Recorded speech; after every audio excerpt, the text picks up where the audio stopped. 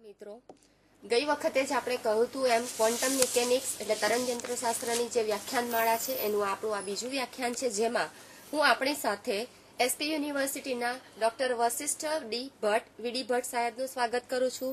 આપણી સાથે LD Dave sir છે, જેમની સાથે આપણે આજે ક્વોન્ટમ મિકેનિક્સ વિશે ચર્ચા કરવાના છીએ. અને ડોક્ટર જ્વલનભાઈ વોરા, જે આપણને આગળ આપણા લેક્ચરમાં કન્ટિન્યુએશનમાં લઈ જશે. વોરા સાહેબ પ્લીઝ વિદ્યાર્થી મિત્રો લાસ્ટ ટાઈમ ગયા મંગળવારે આપણે જોયું હતું કે ક્વોન્ટમ મિકેનિક્સ શા માટે?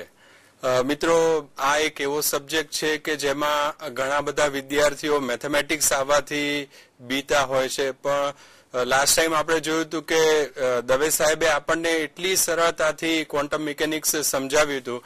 શા માટે ક્વોન્ટમ મિકેનિક્સ એ ઉપરાંત એમણે માહિતી આપી હતી કે ક્વોન્ટમ મિકેનિક્સના ઇતિહાસથી શરૂ કરી કારકો એટલે શું? તેમની સંજ્ઞા કઈ છે? તેમાં કઈ ક્રિયાવિધિ કરવાની છે? તેની માહિતી મેળવી હતી. ઉપરાંત તરંગ વિધેયના ગુણધર્મો કયા કયા છે? તરંગ વિધેય વેલ બિહેવ્ડ છે એટલે કે ફાઇનાઇટ સિંગલ વેલ્યુડ અને કન્ટિન્યુઅસ એની માહિતી મેળવી હતી. અને મિત્રો, આપણે નોર્મલાઇઝેશન કોન્સ્ટન્ટથી વાત આપણી ચાલુ હતી અને ત્યાં આપણે સમયની મર્યાદાને કારણે આપણે ત્યાં વાત પૂરી કરવી પડી હતી. તો, મિત્રો, આપણે અને શરૂઆત નોર્મલાઇઝેશનથી કરીશું. તમે સ્ક્રીન ઉપર જોશો કે જે આઇગન વેલ્યુ ઇક્વેશન છે, તેનાથી આપણે શરૂઆત કરીશું.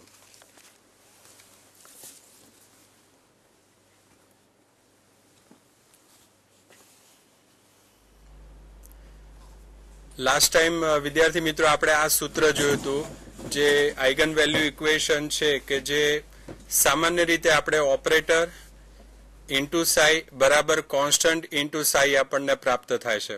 હવે હું દવે સાહેબને વિનંતી કરીશ કે નોર્મલાઇઝેશન અને આઇગન વેલ્યુ ઇક્વેશન ઉપર અનુસંધાનમાં આગળ ચર્ચા કરે. દવે સાહેબ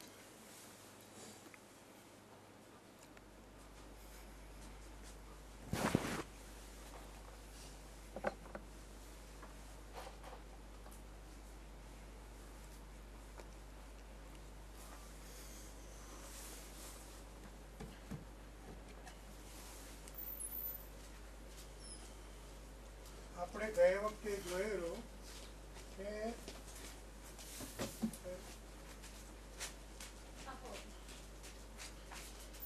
વેવ મિકેનિક્સમાં આપણે ગણિત મુખ્યત્વે કરવાનું છે.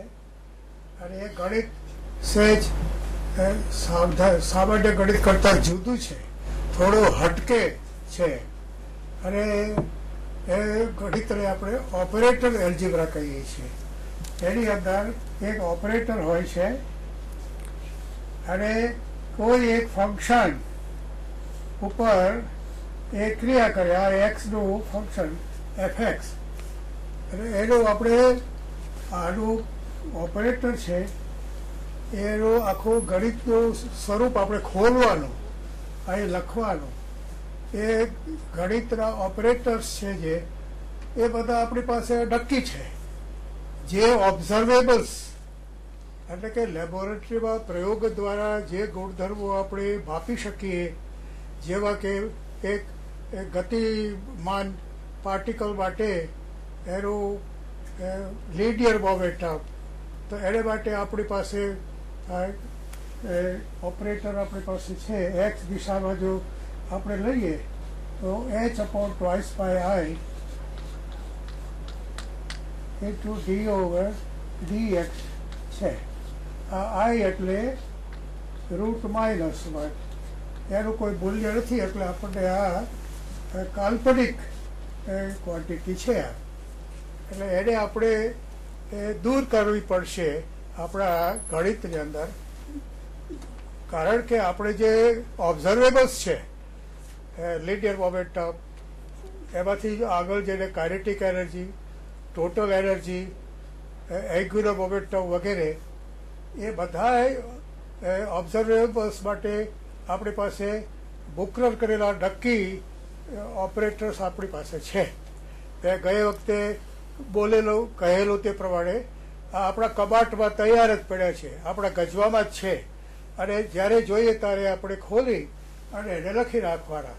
જેમ કે આ પી એક્સ એ આપણો લિનિયર મોમેન્ટમ એથી એક્સ ડાયરેક્શન થયું આપણે ટોટલ મોમેન્ટમ જોઈએ લિનિયર મોમેન્ટમ તો આપણને એ પી એક્સ સ્ક્વેર એનો plus P Y square plus P Z square આપણને મળે. અને એ, એના પછી આપણે ઓપરેટર્સ કરી નાખવાના. વેવ મિકેનિક્સમાં આવો એટલે આ આ ક્લાસિકલ મિકેનિક્સનું સૂત્ર વેવ મિકેનિક્સમાં આવો એટલે એને ટોપી પહેરાવવાની. એટલે એ ઓપરેટર થઈ ગયો.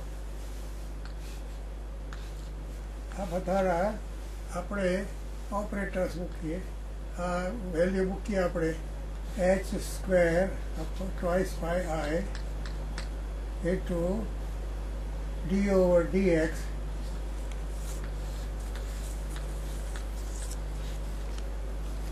હવે આપણી પાસે એકથી વધારે વેરિયેબલ છે. એટલે આ પ્રમાણે આપણે મૂકીએ.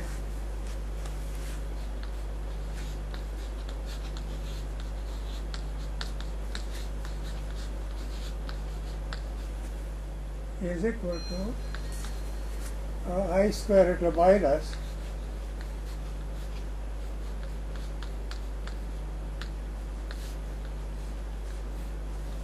હા આપણો ફેમસ લાપ્લાસિયન ઓપરેટર લાપ્લાસ આપણા વૈજ્ઞાનિકે આ રચેલો.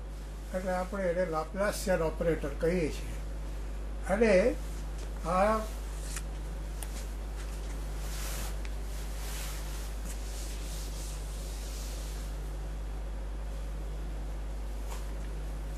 મજાની વાત એ છે કે ક્લાસિકલ મિકેનિક્સમાં આપણી પાસે, એ જે સંબંધો છે, એ કાયનેટિક એનર્જીના કાયનેટિક એનર્જી માટે ટી મૂકેલો અને is equal to one half M V square અને પછી આપણે ઉપર નીચે એમથી ગોળીને one half two M two M square V square અને એ આપણે ટી સ્ક્વેર અપોન ટુ શું મૂકેલું તો એનો ઓપરેટર બનાવવો હોય કાઇનેટિક એનર્જી તો આ ઓપરેટર બન્યો. માસ ઓફ ધી બોડી એ કોન્સ્ટન્ટ છે એટલે એમાં કંઈ કરવાનું છે નહીં. તો આ પી સ્ક્વેર મૂકી દઈએ.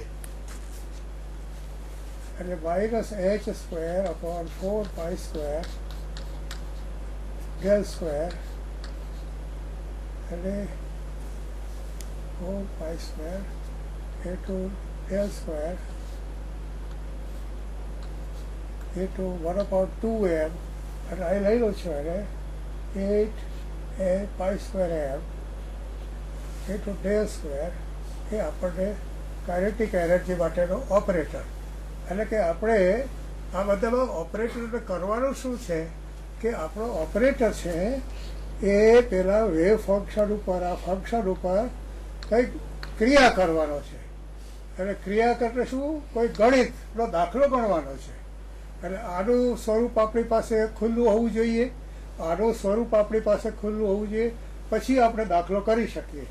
એટલે અહીંયા આપણે જો કાઇનેટિક એનર્જી શોધવી હોય, તો અહીંયા આપણે સાય મૂકીએ. જે સિસ્ટમ હોય, એનું વેવ ફંક્શન આપણે સાય આ રીતે મળે. એટલે કે અહીંયા સાય મૂકવાનો. હવે આપ સાયમાં ધ્યાન રાખવું જોઈએ કે બહુ સ્પષ્ટ છે. કામ કોણે કરવાનું છે? આને તો કંઈ કરવાનું જ નથી. H square upon minus eight pi square M જે છે, એ એ તો કોન્સ્ટન્ટ છે. અને એ તો આની પાછળ પાછળ ઢસડા છે. આ જે કરે, એમાં આ મૂકતા જવાનું. તો કરવાનું છે આને. અને એ શું કરે છે? સેકન્ડ ઓર્ડર ડિફરન્શિયલ ઇક્વેશન આમાંથી રચવા રચાવવાનું એટલે કે આ સાઈનો બે વખત આપણે ડિફરન્શિએશન કરવાનું, એમાં જે એક્સ ભાગ હોય એને આનાથી વાય ભાગ હોય એને આનાથી, અને ઝેડ ભાગ હોય એને આનાથી. એ આપણે ડિફરન્શિએશન કરી, અને પછી આપણને અહીંયા એક ક્રિયા કરવાથી આપણને, એ સાય પાછો મળે, અને અહીંયા જો કોઈ કોન્સ્ટન્ટ મળે, તો આ કોન્સ્ટન્ટ એ આપણે જે ઢૂંઢીએ છીએ જે આપણે શોધીએ છીએ આ કારેટિક એનર્જી છે. તો આ કારેટિક એનર્જી આપણને મળે. તો આ આને આપણે ઇક્વેશનમાં આ રીતે લખીએ છીએ આવી રીતે જો આપણને ઇક્વેશન દાખલો આપણો રચાય, આ પ્રમાણે, તો ભયો ભયો આપણું કામ સરળ થઈ ગયું. એટલે કે પછી આનું કામ પતી ગયું. આનું કામ પતી ગયું, આનું કામ પતી ગયું. આના ઉપર આપણી નજર રહેવી જોઈએ. અર્જુને જેમ ડાબી આંખ ઉપર ધ્યાન રાખેલું, એમ આપણે પણ આના ઉપર ધ્યાન કેન્દ્રિત કરવાનું. આ આપણે જેને શોધીએ છીએ તે આ. એટલે અહીંયા આ જો ઓપરેટર ટીનો હોય, તો આ કાઇનેટિક એનર્જી. આપણી પાસે ટોટલ એનર્જીનો ઓપરેટર હોય, જેને આપણે હેમિલ્ટોનિયન ઓપરેટર કહીએ છીએ. તો આ ટોટલ એનર્જી હોય. એટલે આ રીતે આપણે આવા દાખલા ગણીને આપણા ઓબ્ઝર્વેબલ્સને ગણતરીથી મેળવવાના હોય છે. તો આપણે ગયે વખતે આ આખું ઓપરેટર્સ બધા આપેલા છેલ્લો ઓપરેટર આપણે ટોટલ એનર્જીનું લઈ લઈએ, તો ટોટલ એનર્જીનો ઓપરેટર એને આપણે હેમિલ્ટન નામના વૈજ્ઞાનિકે કંઈક લગભગ દોઢસો, પોણા બસો વર્ષ પહેલાં આપણને કહેલું કે H is equal to total energy is made up of kinetic energy અને પોટેન્શિયલ એનર્જી અને આપણે આ જે ઓપરેટર આને કર્યો, એને આપણે હેમિલ્ટોનિયન ઓપરેટર આમ કહીએ. પણ હેમિલ્ટન ઓપરેટર એટલો બધો જાણીતો છે કે એના ઉપર પછી આપણે ટોપી પહેરાવવાની જરૂર લાગતી નથી. તો જુદા જુદા કોઈ અક્ષરો આમ કાઢે છે કોઈ આવી રીતે એને એવું બધું. પણ સંદર્ભ ઉપરથી ખબર પડી જાય કે આપણે હેવી ટોરેડ ઓપરેટર કરીએ છીએ. તો આ આપણી પાસે અહીંયા સુધી કાયરેટિક એનર્જી આપણી પાસે આવેલી. આ, આમાં પછી બસ પોટેન્શિયલ એનર્જી મૂકી દઈએ, એનો ઓપરેટર એટલે એને પછી આ સાય છે, આ કાયરેટિક એનર્જી ઓપરેટર આ પોટેન્શિયલ એનર્જી ઓપરેટર તો એ હવે અહીંયા તમે psi મૂકો. એટલે કે અહીંયા psi મૂકો, હેમિલ્ટન ઓપરેટર સાથે. તો તમને અહીંયા આ psi અહીં મૂકો. તો તમને અહીંયા જો કોન્સ્ટન્ટ મળે, એ ટુ psi તો આ કોન્સ્ટન્ટ છે તે ટોટલ એનર્જી થાય. તો આ રીતે આપણે કાઇનેટિક એનર્જી આ રહી. હા, આ પોટેન્શિયલ એનર્જી આ રહી. બંને ભેગા થઈને આપણે ટોટલ એનર્જી આપે. પોટેન્શિયલ એનર્જીની તો નિરાશ છે. એમાં કશું જ કરવાનું ગુણાકાર કરી નાખવાનો. પોટેન્શિયલ એનર્જી ગુણ્યા સાય અને જે જવાબ આવે એમાંથી સાય કાઢી નાખવાનો. અને પાછળ રહેતી પોટેન્શિયલ એનર્જી પણ આ દાખલો આપણે કરવો પડે. એટલે આ બધા દાખલાઓ કરવા માટે આપણે ગયે વખતે ચર્ચા કરેલી. અને બધા ઓપરેટર્સની આપણે એક આખું લિસ્ટ બનાવેલું. અને એ તમને અહીંયા બતાવેલું. એ કહેવાનું એ છે કે લિસ્ટ આપણી પાસે તૈયાર છે. દરેક વખતે શોધવા જવાનું નથી. સાય શોધવાનો, દરેક વખતે કરવાનો. હવે આ જે ફંક્શન્સ છે એના વિશે થોડી વાત કરીએ. કેમિસ્ટ્રીના વિદ્યાર્થીઓને આ બધું ફંક્શન્સ બધા શબ્દો જરા મૂંઝવે છે. ફંક્શન્સ એટલે શું? એકબીજાના સંબંધી. એકબીજાના સગાવાલા. જેમ કે y is equal to two x કહીએ, તો વાય છે તે એક્સનો ફંક્શન એનું વિધેય છે એમ કહેવાય.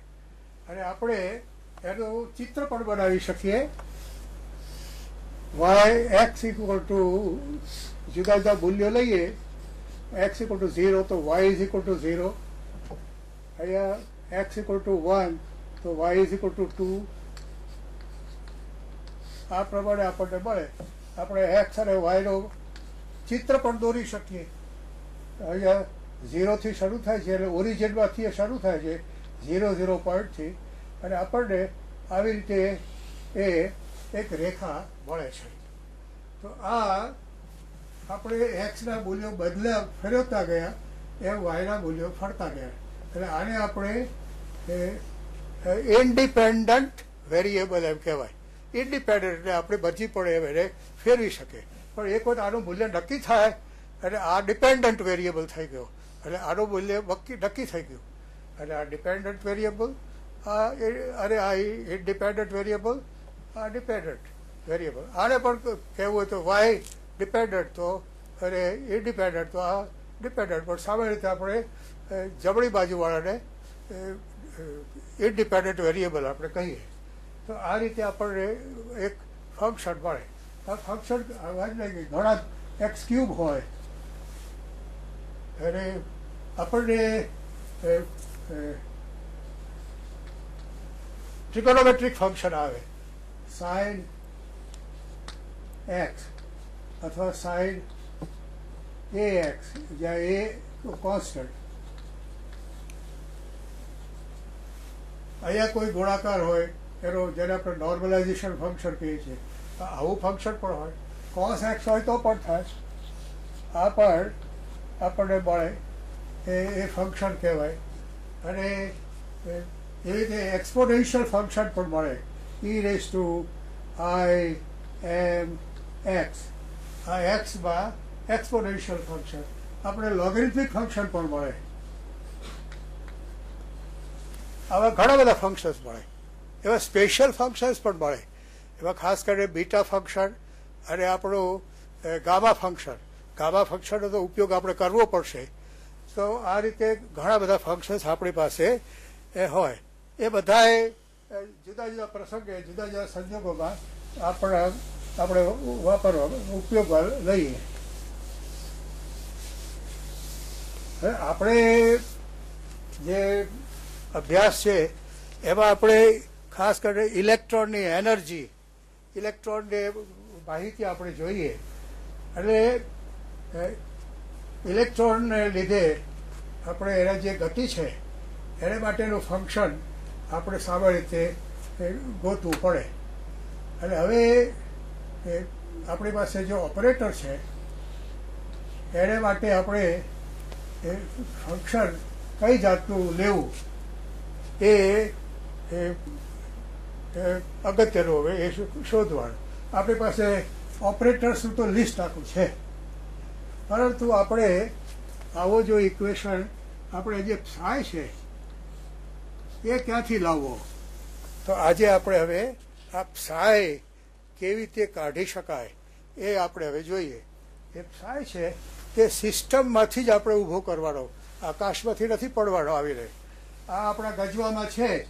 પણ આપણે ઢૂંઢવાનો અને એ ઢૂંઢવા માટે આપણે એ જો આપણે યોગ્ય મળીને અને આપણી પાસે આવો કોન્સ્ટન્ટ એવો જવાબ આવે, તો એ આપણું આઈગન વેલ્યુ થાય. આ ઓપરેટરની આઈગન વેલ્યુ. તો આમાં એ આપણે ઓપરેટર બે ફંક્શન ઉપર લીધો. હવે ઓપરેટર માટે એને જે ફાઇલ લેવાનો છે, તે મેં કહ્યું તેમ સિસ્ટમમાંથી કાઢવાનો છે. અને એને માટે એક સારું ઉદાહરણ પાર્ટિકલના લેડિયર બોક્સ છે. દવે સાહેબ સોરી તમને ડિસ્ટર્બ કરું છું, પણ એક સવાલ કે જે પરીક્ષામાં પણ વારંવાર પૂછાય છે કે નોર્મલાઇઝેશન વેવ ફંક્શન અને ઓર્થોગોનલ વેવ ફંક્શન એની ટૂંકમાં માહિતી આપશો હા આપણી પાસે એક નાનકડી વાત કહેવાની હતી કે ઘણા લોકો આ પ્રશ્ન પણ પૂછે છે સાય અરે operator psi is equal to constant to f psi અહીંયા આપણે ગુણાકારની સાઈન કરી છે અહીંયા શું કરવું અહીંયા કશું જ ન લખાય કારણ કે આ ખોલીએ કઈ જાતનું ઓપરેશન કઈ જાતનું ગણિત કરવાનું છે, તે આપણને અંદરથી દેખાય. ત્યારે આપણે એવા પછી એ પ્રમાણે પ્રક્રિયા કરવાની છે. અને જેમ કે આપણી પાસે d square upon d x square આવો ઓપરેટર આવે h upon twice pi i આ આપણો kinetic energy operator in the x direction તો એને તમે અહીંયા સાઈ તમે લો. તો કેવો હોવો જોઈએ કે જેમાં એક્સ તો હોવો જ જોઈએ ને? એમાં એક્સ હોય તો જ આ કંઈક ક્રિયા કરી શકે. અને આપણે કહીએ કે આવું કંઈક આપણે ઇક્વેશન લઈએ, સાઈન, એ એક્સ આવું આપણે ઇક્વેશન લઈએ. તો એ આપણે અહીં મૂકી દેવાનું. સાઈન, એ એક્સ જોયું એટલે અહીંયા કશું જ લખાય નહીં. એ મારે ખાસ તમારું ધ્યાન દોરવાનું. કારણ કે કઈ જાતનું ઓપરેટર છે અને કઈ જાતનું વેવ ફંક્શન છે, તે એના ઉપર આધાર રાખે એ દાખલો કરવાનો. હવે આ વેવ ફંક્શન્સના બે ખાસ ખાસિયત કેરેક્ટરિસ્ટિક્સ છે. આપણી પાસે આ બધા જુદા જુદા વેવ ફંક્શન્સ આવે. એ બધા વેવ ફંક્શન્સને એક જ લેવલે ઢાળી દઈએ. એટલે કે એને નોર્મલાઇઝ કરીએ. અને બધા એક જ લેવલે આવી જાય, એવી રીતે એને આપણે નોર્મલાઇઝેશન કહે છે. જો સાય છે, એને તમે કોઈ ઓપરેટરથી આવી રીતે દાખલો ગણો, પણ તમે સાય એટલું એન સાય કરો. એટલે કે સાયને એન વડે ગુણો, તો એન તો કોન્સ્ટન્ટ છે બટ એન સાય આમ દાખલો થાય. એટલે કે આપણે જે કંઈ આમાંથી એ આઈગન વેલ્યુ આવવાની હોય, એ આઈગન વેલ્યુ એન ઘણી થઈ જાય. એટલે આપણે આ એન ઉપર કોઈ કંટ્રોલ નથી એનની કોઈ પણ સંખ્યા હોઈ શકે. એટલે માટે હવે શું કર્યું? બધાને માટે નક્કી કર્યું કે બધા વેવ ફંક્શનને એને યુનિટ નોર્મલાઇઝેશનમાં સ્થિતિઓ મૂકી દેવા. એટલે જે વેવ ફંક્શન છે એમાં કંઈ ખૂટતું પડતું હોય આપણે આવું ફંક્શન હોય એની અંદર એને તમે ધારો કે જરા સેજ વહેલું પડશે એને અચ્છા સાય છે એને એ આપણે એની એની પ્રોબે સાય છે એ એને square is equal to probability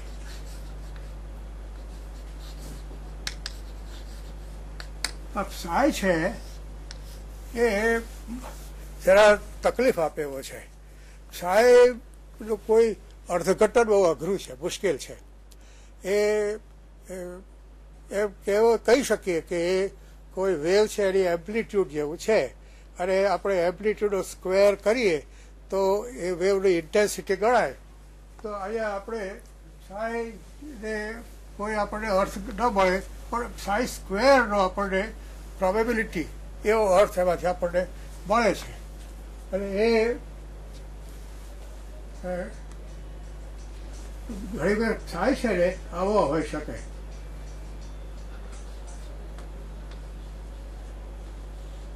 આવું કંઈક આવે.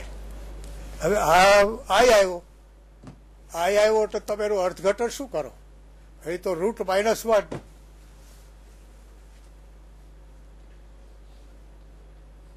એટલે એનું મૂલ્ય મળે રૂટ માઇનસ વનનું મૂલ્ય મળે નહીં. એટલે આપણને આનું મૂલ્ય મળે નહીં. એટલે ઘણી વખત આપણને આવા ઇમેજિનરી ફંક્શન્સ પણ મળે.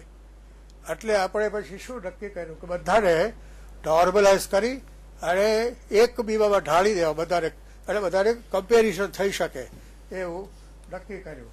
તો આ બધાને નોર્મલાઇઝ કરવા માટે એ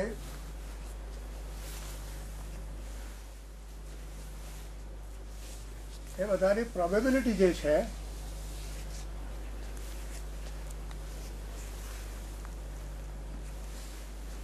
તમે આપણે શીખ્યા છીએ આવું આપણી પાસે એક વેક્ટર હોય.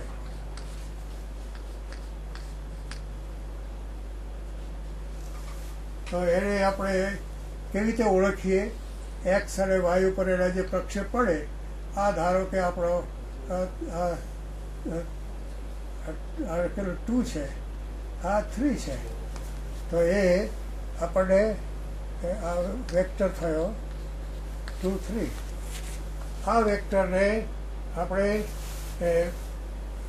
આરની મૂલ્ય કાઢવું હોય, આર, તો આ પાયથાગોરસ થિયરમ પ્રમાણે આપણે two square plus three square thirteen by. હવે આ આર આપણો છે કે એનો સ્ક્વેર થર્ટી છે. પણ આપણે એમાંથી એક જ કરવો હોય, યુનિટ. એનો એમાંથી કાઢવું હોય. તો આપણે આની લંબાઈ થઈ રૂટ થર્ટી. અને ભાગ્યા રૂટ થર્ટીન કરો તમે જુઓ, તો વન થઈ જાય. હવે આમ ન કરવું હોય, અને તમે આરને એમને રાખો અને કે રૂટ થર્ટીન રાખો. તો તમે અહીંયા રૂટ થર્ટીનથી એને ભાગી રાખો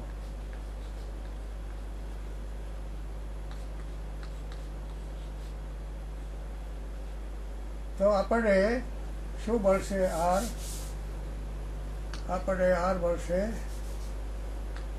three into upon root 3 the square plus 2 upon root 30 the square is equal to 4, 9 upon 30 plus 4 upon 30 is equal to 13 upon 30 is equal to 1. આપણે આ વેક્ટરને નોર્મલાઇઝ કર્યો ટુ યુનિટી યુનિટી એટલે એક.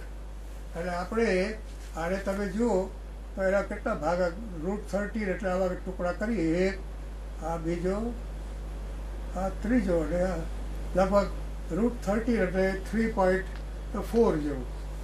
તો આપણે આ જોઈએ છીએ. રૂ યુનિટ યુનિટ વેક્ટર આપણે આ નોર્મલાઇઝ કર્યો કહેવાય. આ આટલો વેક્ટર એ નોર્મલાઇઝડ વેક્ટર થયો.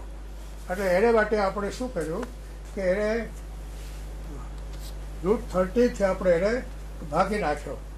તો એ એ જે ભાગાકાર કર્યો, અથવા એને ગુણાકાર તમને ગમતો હોય તો આપણે એમ કહીએ કે આપણે થ્રીને વન અપોન રૂટ થર્ટીથી ગોળી નાખ્યો.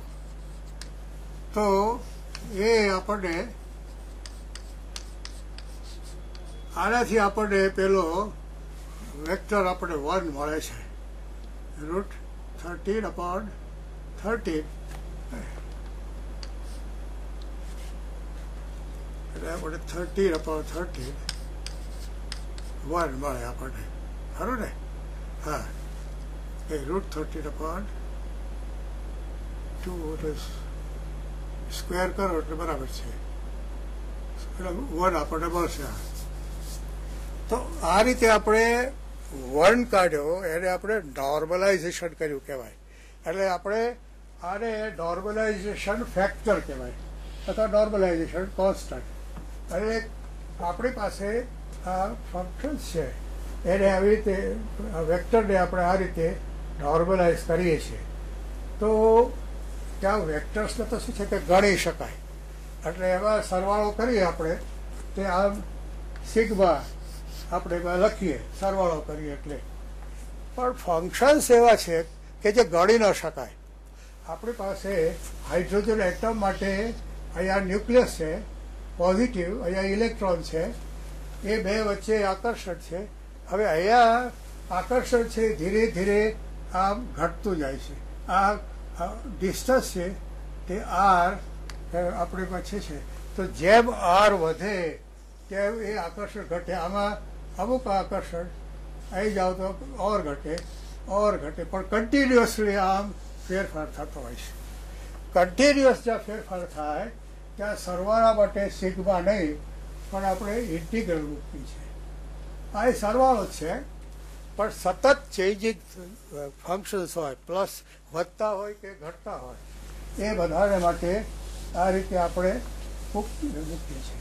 તો ફંક્શન્સ માટે, હવે આપણે આવીએ, તો ફંક્શન્સ માટે એની પ્રોબેબિલિટી આપણે લખીએ છીએ. આપણે જોયું કે સાય તો અર્થઘટન અઘરું છે. પણ સાય સ્ક્વેર એને આપણે અર્થ આપ્યો. વેવના એમ્પ્લિટ્યુડના સ્ક્વેરની માફક. કે આ પાર્ટિકલ જે ગતિમાન છે, એનો અમુક જગ્યાએ સાય છે. હવે એ આપણે જો અમુક પોઈન્ટે થાય છે, પણ જુદા જુદા પોઈન્ટે આપણને જુદું જુદું સાય મળે, તો આ બધાનો, આ આપણે જો સરવાળો કરીએ આપણે, તો એને માટે આ રીતે ઇન્ટિગ્રલ લખવામાં આવે. અને હવે આ સાઈ સ્ક્વેર છે, એ જો આપણે એક્સ દિશામાં એ બદલાતો હોય તો આપણે એને ડી એક્સ કહીએ. અને એને પછી એક્સ ઉપર એ કેટલો, એ એ ફેરફાર થાય છે તે, એ એક્સ ઉપર. આપણે સાઈ સ્ક્વેર ડી એક્સ એટલે એક્સ એક્સિસ ઉપર એક સીધી લીટી ઉપર આપણો પાર્ટિકલ દોડી રહ્યો છે. જો આપણી પાસે આમ કઈ રેક્ટેગલમાં કે એમાં દોડતો હોય, તો psi square d x into d y કરીએ અને જો ત્રણ દિશામાં હોય આ પ્રમાણે, તો d x d y d z એટલે કે આપણે એને સાઈ સ્ક્વેર ડી વી એમ લખીએ છીએ. હવે બધા હમણાં નવી ફેશન એ છે. Psi square. Psi square into d cube x આમ પણ હવે લખવા માટે છે. તો આ આપણને આ વોલ્યુમ, આ ડીવી છે, એને વોલ્યુમ એલિમેન્ટ કહેવાય. એ નાનકડું, એટલે કે d x into d y into d z આપણી પાસે આવી રીતે અહીંયા પાર્ટિકલ છે. એ અહીંયા અને અહીંયા આપણું છે પાર્ટિકલ તો અહીંયા આપણે એક્સ વાય અને ઝેડ એવું આપણે અહીંયા ક્યુબ બનાવવાનો. એ આપણો આ ડીવી એમ થાય. અને એની રીતે આપણને આ ટોટલ પ્રોબેબિલિટી આપણને મળે. તો આ ટોટલ પ્રોબેબિલિટી ગણતી વખતે આપણને આ વેવ ફંક્શન છે તે મેં કહ્યું તેમ વેવ ફંક્શન એન ટાઈમ્સ પણ હોય. એટલે કેટલા ટાઈમ્સ એ ખબર નથી. તો આપણે શું કરીએ? એને નોર્મલાઇઝેશન કરી નાખીએ દરેક ફંક્શનનું તો આ રીતે આપણે એક વેવ ફંક્શનને એન ગુણ્યા સાય એ થી ગોળીએ અને બીજા ફંક્શને એક જેમ આપણે વેક્ટરમાં કર્યું તેમ આપણે અહીંયા, હવે આમાં ડી એક્સ લખવો કે ડી વી લખવો એ ખબર ન હોય તો આપણે એક જનરલ ટી ટાવ લખી નાખીએ. ઘણી વખત સ્પિન પણ ડીએસ પણ આવે. તો તે વખતે ડી ટાવ સારામાં સારું. પછી જરૂર પડે ત્યારે ખોલી અને એનું મૂલ્ય લખવાનું. તો આ રીતે આપણે એને લિમિટ્સ મૂકવાની. અને આ તો ચારે બાજુ ફરે છે ગોળ. અને ઓફ સ્પેસમાં એ ફરવાનું. આ રીતે આપણે, આ રીતે કરીએ તો આપણને વન મળવું જોઈએ. હવે એનું ભૌતિક અર્થઘટન એ છે કે એ જો લઈએ, તો આપણને અહીંયા જવાબ કદાચ પોઈન્ટ એટ કેવો આવે. પણ એન મૂકો, એટલે તમને અહીંયા જવાબ વન આવે. એટલે કે આપણે આ સાઈ એમાં જે ખૂટે છે, તે આપણે એન આપે છે. અને માટે પછી આ કોન્સ્ટન્ટ છે, એટલે હવે એમાં ગણિત આવ્યું. એ સ્ક્વેર બહાર કાઢી લીધો. એ સ્ક્વેર એથી કાઢીને આપણે અહીંયા મૂકી દીધું. અને આને હવે એક બાજુ મૂકી રાખવાનો, one upon l square. Equal to આ દાખલો ગણો, અને પછી જે આવે equal to one upon l square આપણે કરી લેવાનો. અને આ રીતે નોર્મલાઇઝેશન કરીએ. નોર્મલાઇઝેશન એટલે વેવ ફંક્શનમાં જે ખૂટે છે, તે બધું આપણે આપીએ છીએ. અને જેથી આપણો આ ઇન્ટિગ્રલ પ્રોબેબિલિટીનો ઇન્ટિગ્રલ એ આપણને વર્ડ મળે. અને આને એમ કહેવાય કે it is normalized to unity આ શબ્દ સમજવાનો છે. નોર્મલાઇઝડ ટુ યુનિટી તમે ગ્રુપ થિયરીમાં આ શીખ્યા છો, અથવા શીખતા હશો, એમાં આપણે સી સી ટુ વીમાં આપણને ચાર ઓપરેટર્સ છે, ઓપરેશન્સ છે.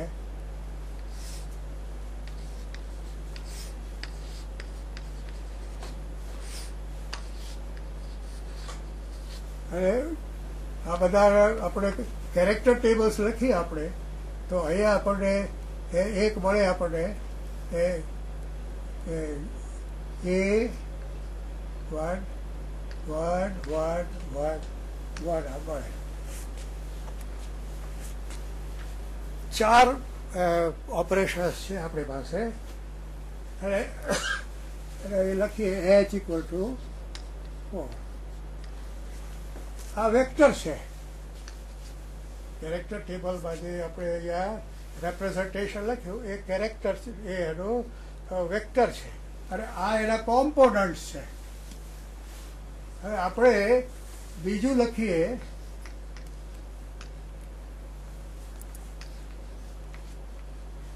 એવી રીતે ત્રીજું પણ લખીએ આપણે. One one one minus one અને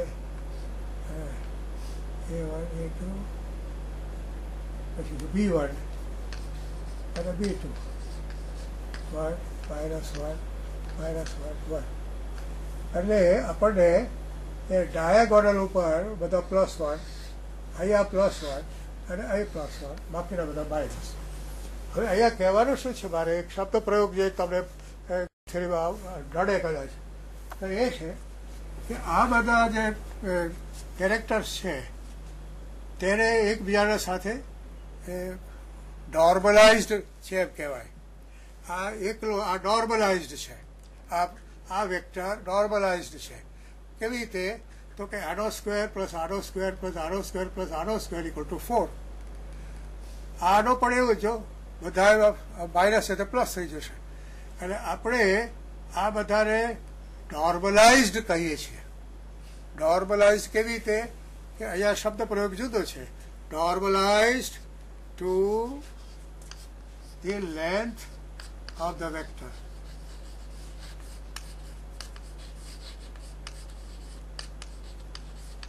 અને આપણે જો આને નોર્મલાઇઝ કરવા જાઓ તો તો one upon two one upon two one upon two one upon two કરવું પડે.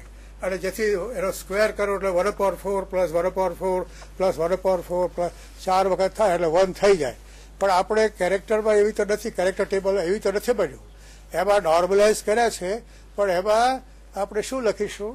They are normalized to the length of the vector એટલે કે આપણો જે પેલો વેક્ટર હતો રૂટ થર્ટીનો એને આપણે કશું જ કરવાનું નહીં. રૂટ થર્ટીન તરીકે જ રાખવાનો. તો આપણે એને કહીએ કે this is normalized to the length of the vector આ વેક્ટર જે છે, એનો એ root it is normalized to the length of the vector એ રીતે ગ્રુપ થિયરીમાં પણ આપણને નોર્મલાઇઝેશનનો અર્થ કરવાનો આવે. હવે આપણી પાસે અમુક સેટ વેવ ફંક્શન્સ આપણી પાસે આવે. તમે હાઇડ્રોજન એટમનો જુઓ, તો આપણ પાસે સેટ આવે psi one s psi two s plus one psi two p minus one psi two p zero પછી ડી ઓર્બિટલ્સ આવે. અને વેવ ફંક્શન એટલે ઓર્બિટલ આ એક બહુ જ મૂંઝવતો બરાબર શબ્દ નડે છે. વેવ ફંક્શન એટલે છેવટે તો ઓર્બિટલ આપણી. એટલે કે એટમિક ઓર્બિટલ હોય કે મોલેક્યુલર ઓર્બિટલ હોય. એને માટેનું એક વેવ ફંક્શન એટલે વેવ ફંક્શનનું ગણિત જાણીએ તો આપણને એ ઓર્બિટલનો શેપ આપણને પછી મળે. આપણે ગણિત જો બરાબર લગાડીએ તો. તો આ બધા છે, આપણી પાસે પુસ્તકમાં આપેલા છે. એનું ગણિતીય સ્વરૂપ આપેલું છે. અને આપણે એને સાય વન એસ લઈએ, અને ગોળા સાય ટુ એસ લઈએ, અને પછી આપણે એની અંદર આપણે ડીવી લગાડીએ. અને આનો આપણે પછી દાખલો ગણીએ આવા લિમિટ્સ બધી આર થીટા ફાઈની આવે એટલું નથી લખતો. પણ આ રીતે આપણે આવે તો તમે કોઈ પણ બેને લો તો ઝીરો આવે. આ બેનો લડાવો તમે, તો આ બેનો ઝીરો આવે. એટલે એકબીજાના દુશ્મન. અરે ઓર્થોગોનાલિટી માટે બે જોઈએ. નોર્મલાઇઝેશન માટે એક જ ફંક્શનનું નોર્મલાઇઝેશન થાય. પણ ઓર્થોગોનાલિટીમાં એકથી બે હોવા જોઈએ અને બે એકબીજાને કાપે. આ પણ વેક્ટરમાંથી જ આવે છે. આપણી પાસે આ વેક્ટર્સ હોય, આપણો એક્સ અને આ વાય. તો આ વચ્ચે નેવું ડિગ્રી છે. આપણે વેક્ટર્સ બે એનો ગુણાકાર જો કરીએ, તો એનું ડોટ પ્રોડક્ટ અથવા આપણે જેને કોસ્ટ પ્રોડક્ટ કહીએ છીએ. તો અથવા સ્કેલર પ્રોડક્ટ એમ પણ કહીએ. એ એ કોસ થીટા આ બેની વચ્ચેનો એંગલ અહીંયા નાઇન્ટી છે.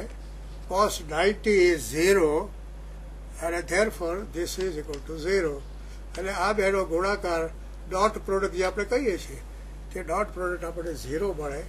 અને આ આપણને એ, આ વેક્ટર અને આ વેક્ટર ઓર્થોગોનલ વેક્ટર્સ થયા. હવે આ કઈ આ બે જ કંઈ એવું નથી. અહીંયા કોઈ પણ બે વેક્ટર હોય. આ અને એના નેવું ડિગ્રીએ આપણને આ મળે. તો આ બે વચ્ચે જો નેવું ડિગ્રી હોય, તો આ બે વેક્ટર્સ પણ ઓર્થોગોનલ થાય. તો એ જ અર્થમાં આપણી પાસે અહીંયા ફંક્શન્સમાં પણ આપણી પાસે આ નોર્મલાઇઝ ઓર્થોગોનલ આપણે થયા. તો આપણી પાસે લિસ્ટ પુસ્તકમાં આપેલું છે. આ નોર્મલાઇઝ છે બધા જ. નોર્મલાઇઝ છે એટલે ફરીથી જોઈ લઈએ. Psi one s square d v is equal to one આનો તમે સ્ક્વેર કરો અને પછી એનું એપ્રોપ્રિએટ ડીવી મૂકો, અને પછી આ દાખલો ગણો તો તમને એ વન આવે. અહીંયા ટુ એસ મૂકો. તોય પણ વન આવે. ટુ પી કોઈ પણ મૂકો.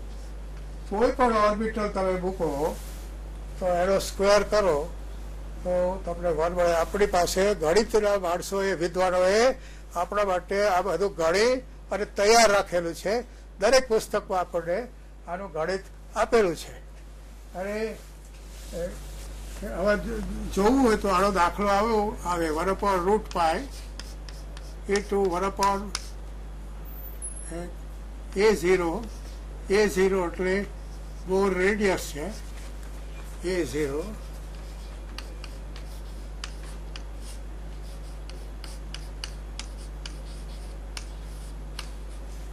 આ બોર રેડિયસ આપણે હવે લેન્થનો એકમ ગણ્યો છે. એટલે એને વન બોર કહીએ. ડીલ બોર ઉપરથી વન બોર એમાં કહીએ અને હવે ડિસ્ટન્સીસ બધા આર એ બધા આર અપોન એ ઝીરો એના આવી રીતે જ મૂકવામાં આવે છે આર અપોન એ ઝીરો રૂપે. એટલે એને એટમિક યુનિટ્સ કહેવાય. તો આ રીતે આપણી પાસે અહીંયા one upon a zero raised to three upon two into e raised to minus r upon a zero. આપણી પાસે આ ફંક્શન છે. વન અપોન ટુ એસ એટલે four root two pi into one upon a zero raise to three upon two actually આ hydrogen માટે છે. અત્યારે તો અહીંયા ઝેડ મૂકવો પડે, પણ એટમિક નંબર પણ એ આપણે નથી મૂક્યો, કારણ કે હાઇડ્રોજન માટે હાઇડ્રોજન એટમ માટે એટમિક નંબર વન છે.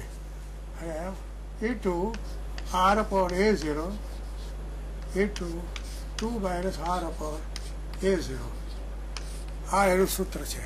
હવે આ બેને તમે આ કહ્યું, એટલે આ મૂકો અહીંયા. આ મૂકો. પછી આ કહ્યું એટલે આ મૂકો. અને પછી એનો તમે દાખલો કરો. એ દાખલો આપણે આગળ જઈને કરીશું આગળ પણ આ રીતે આ અરે હવે આનો તમે સ્ક્વેર કરીને સ્ક્વેર ડીવી કરો એટલે આનો સ્ક્વેર ડીવી કરો તો વન આવે. એવી રીતે આનો પણ સ્ક્વેર કરી ડીવી કરો એટલે વન આવે. પણ એ વ્યક્તિગત એકલા વેવ ફંક્શનને નોર્મલાઇઝ કરી શકાય. પણ બે થયા એટલે એ નોર્મલાઇઝ હોય તો પણ ઓર્થોગોનલ થઈ શકે. હવે આવા ફંક્શન્સને માટે શબ્દ પ્રયોગ કર્યો છે. કે ઓર્થોગોનલ અને નોર્મલ એટલે ઓર્થો નોર્મલ એવો શબ્દ પ્રયોગ કર્યો છે. અને એ રીતે આપણને આ બધા ઓર્થો નોર્મલ ફંક્શન્સ છે. અને એ ખૂબ જ ઉપયોગી ફંક્શન છે. આગળ એના ગણિત માટે જે આપણે અત્યારે નહીં લઈએ. હવે જે મારે મુખ્ય વાત આજે કરવી હતી તે એક દવે સાહેબ કંઈક ક્રોનેકર ડેલ્ટા કરીને સિમ્બોલ પણ બહુ જાણીતો છે. આપણી પાસે બે ફંક્શન્સ હોય. સાય એ અથવા આઈ લખીએ. બીજું ફંક્શન આપણી પાસે હોય જે હોય. આ બે આઇકન ફંક્શન્સ હોય, તો આ બેને આપણે જો આવી રીતે એનો દાખલો ગણીએ તો આપણને જે જવાબ આપે એને આ રીતે લખાય. ડેલ્ટા આઈ જે. આને ક્રોનેકર ડેલ્ટા કહે.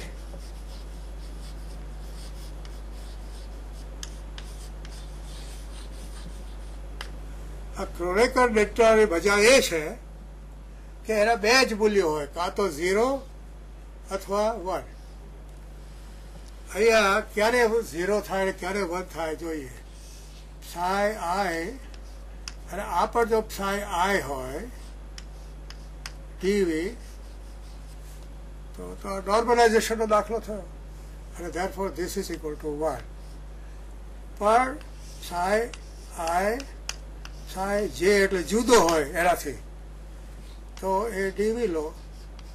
અને જો ઝીરો આવે, તો આ એકબીજાના ઓર્થોગોનલ ફંક્શન્સ કહેવાય. એટલે આને આ જ્યારે ઝીરો આવે વન આવે, ત્યારે આ નોર્મલાઇઝેશનનો દાખલો થયો. અને આ છે તે ઓર્થોગોનાલિટીનો દાખલો થયો. હા ક્રોનિકલ ડેલ્ટા વારંવાર આવે છે. તમે ગ્રુપ થિયરી બાજુ લો, ત્યારે તમારે ગ્રેટ ઓર્થોગોનાલિટી થિયરમ આવે એમાં એક સામે ત્રણ ક્રોનિકલ ડેલ્ટા આવીને ઊભા રહે. અને બહુ સરળ હોય છે. એનો કાં તો ઝીરો અથવા બરાબર, કાં તો છગનભાઈ રાજમહેલમાં અને કાં તો છગનભાઈ ફૂટપાથ ઉપર. એટલે ઝીરોમાં. એવી રીતે એમાં વચ્ચે one point seven point six એવો જવાબનો આવે. એ અગત્યની વાત. એને ક્રોનિકલ ડેલ્ટા એ આપણને બતાવે છે. તમે કહ્યું કે જે વિધેય હોય છે, એ આપણી સિસ્ટમ પર આધાર રાખે છે. હા. તો એવું કોઈ ઉદાહરણ ખરું વિધેય મેળવવા માટેનું હવે એ ઉદાહરણમાં એવું છે આપણે આ એક સારા સારો દાખલો છે પાર્ટિકલ એના one dimensional box linear box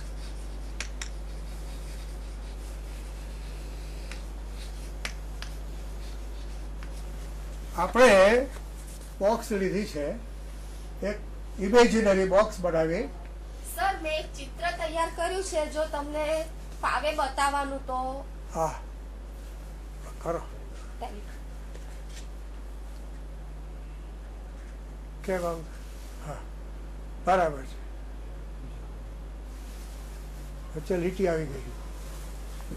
આપણે જે ખરો છો? સારું.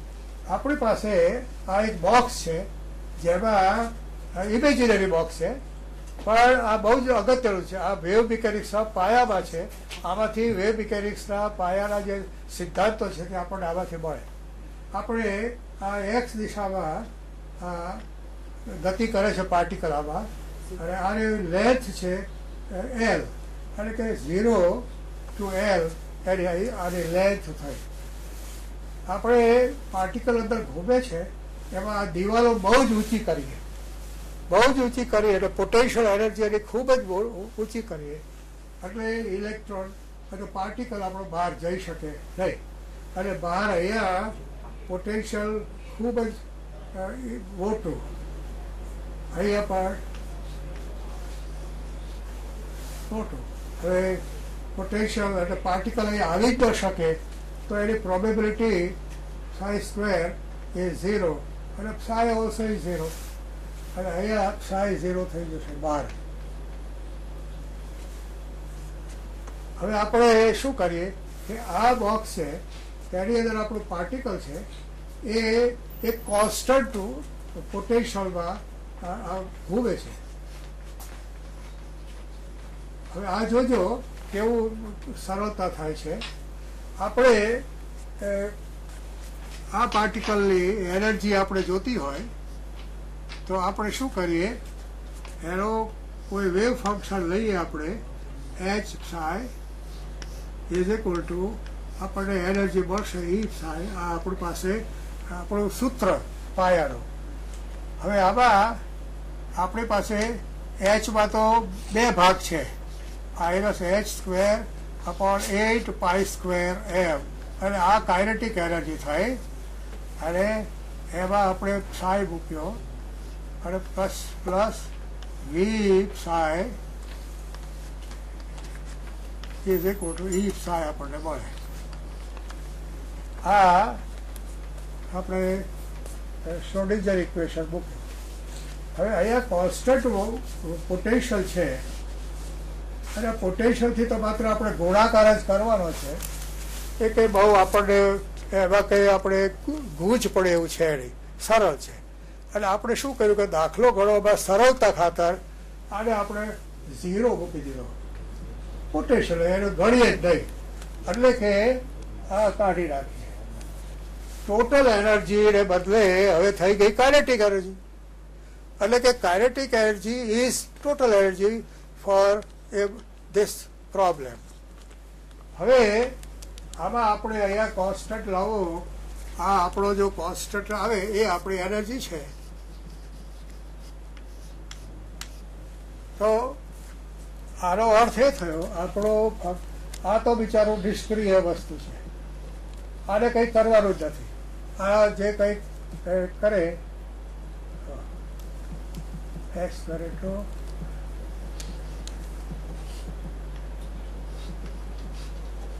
આવું થઈ જાય છે જોયું આવું આપણે ઇક્વેશન થાય. અને આમાંથી આપણને કોન્સ્ટન્ટ મળે અને સાઈના ગુણાકાર સાથે. તો એ કોન્સ્ટન્ટ આપણે ટોટલ એનર્જી કે કાઇનેટિક એનર્જી એ કહો તે મળે હવે આ minus h square upon eight pi square m તમે કહ્યું તેમ, એને કશું કરવાનું નથી. આ જે કંઈ કરે તે આ. આ ઓપરેશન એ કરડવાળા દાંત અહીંયા છે. આના સાથે આપણે કામ કરવાનું. તો હવે હવે આપણે વિચારીએ કે આ શું છે? આ શું કહે છે? કે આપણું ફંક્શન એવું હોવું જોઈએ કે જે બે વખત એનું ડિફરન્શિએશન કરીએ, તો આપણને અહીંયા કોન્સ્ટન્ટ મળે અને પેલું વેવ ફંક્શન પાછું મળે. એટલે સર આપણે આપણે મેં દાખલો એવો ગણીને મૂક્યો છે. સાઈ નું તમે જે કહો છો ને એવો એક્ઝામ્પલ મેં અહીંયા કરીને મૂક્યો છે કે જો સાઈ બરાબર આપણે જે વિધેય લઈશું એ જો સાઈન એ એક્સ તરીકે લઈએ અને એનું આપણે બે વખત વિકલન કરીશું તો d square upon d x square sin a x લખ્યું છે. એના બરાબર આપણે કરી શકીએ d upon d x into d upon d x sin a x. અને અલ્ટિમેટલી આપણો આન્સર આવે છે માઇનસ એ સ્ક્વેર સાઈ. બહુ સરસ. બરાબર કહેવાશે ને? બરાબર.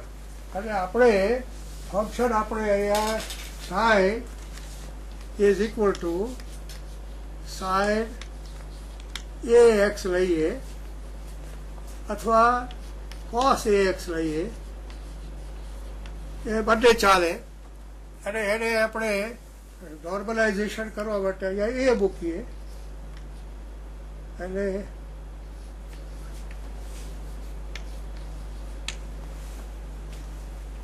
તો આપણને આવા ફંક્શન્સ આમાં હોવા જોઈએ. આપણે હવે એ વેવ ફંક્શન ઢૂંઢીએ છીએ. આપણે શોધીએ છીએ. આપણી પાસે ઓપરેટર તૈયાર છે. હવે વેવ ફંક્શન જોઈએ છે. તો વેવ ફંક્શન આપણે આવું કંઈક ઇક્વેશન બનાવવું હોય, તો આપણે એવું વેવ ફંક્શન હોવું જોઈએ કે જેનું બે વખત તમે ડિફરન્શિએશન કરો, તો તમને એ કોન્સ્ટન્ટ મળે અને એ પેલું વેવ ફંક્શન પાછું મળે. અને એ આપણે આ ટ્રિગોનોમેટ્રિક ફંક્શન્સ આપણે એનો ઉપયોગ કરી શકીએ. અને આપણે આ બે ફંક્શન્સમાંથી એક લઈએ અથવા આ બેનો સરવાળો પણ કરી શકીએ આપણે. એ મને લાગે છે કે આપણો પીરિયડ પૂરો કરવાનો ટાઈમ થઈ ગયો છે. અને મારા ખ્યાલથી આપણે હવે આ સાઇનનું વિધેય જે શોધવાનું છે ને એ શોધવાનું આપણે વિદ્યાર્થી મિત્રોને આપી દઈએ. એટલે આવતી વખતે વિદ્યાર્થી મિત્રો, આ વિધેય શોધીને લાવશે. મેં જેવી રીતે એક્ઝામ્પલ તમને બતાવ્યો છે, એ જ રીતના એક્ઝામ્પલ પ્રમાણે તમે પણ બીજા એક્ઝામ્પલ કરી શકો છો. અને આપણે સર જોડે હવે નેક્સ્ટ લેક્ચરમાં આ વિધેયથી આગળ જઈશું, જેનું સામાન્યકરણ અને એનાથી આગળ આપણે હાઇડ્રોજન પરમાણુ માટે સર જે બતાવતા હતા આપણને, કે હાઇડ્રોજન પરમાણુની જે વિધેય છે, એની જે અક્ષ છે, એને માટે આપણે ક્વોન્ટમ મિકેનિક્સનો ઉપયોગ કરી શકીએ, તો આપણે હવે નેક્સ્ટ લેક્ચરમાં એના ઉપર અભ્યાસ કરીશું. વિદ્યાર્થી મિત્રો, અત્યાર સુધી જે કંઈ તમે ભણ્યા છો, એના પર ફરી થોડું રિવિઝન કરજો અને સરે જે સરળતાથી આપણને સમજાવ્યું, એવી રીતે આપણે આશા રાખીએ કે આપણે હાઇડ્રોજન પરમાણુની થિયરી પણ સમજી શકીશું.